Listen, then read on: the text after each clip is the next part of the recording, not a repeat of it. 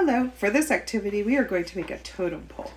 So everyone will get a sheet that looks just like this as well as a pair of scissors. You are going to just cut the line where the arrow is pointing where it says cut this line.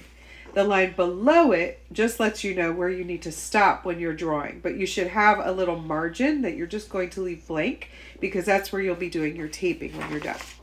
So I'm cutting on the first line. And this is what's left. So we're not going to put anything in this white part. So now I'm going to hold the totem pole this way. And when we're finished and we attach it, it'll be attached just like this.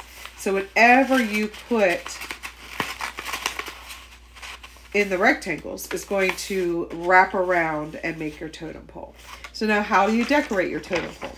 There are six different types of totem poles. We have poles that go in front of your house that tell about your household. We have an interior house pole, which would be on the inside of your house for decoration. We have a mortuary pole where, remember, they would put the actual um, cremated remains of people who had passed away into the pole we have memorial poles that you know if you have lost someone you love you might um, dedicate the pole to them welcome pole, which tells people what is interesting about you so that they can maybe become your friend.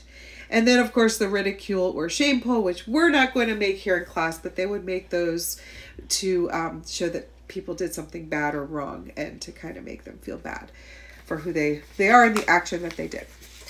So you're going to decorate each of the parts with a drawing or words or whatever you want to use to represent yourself because this is all about you.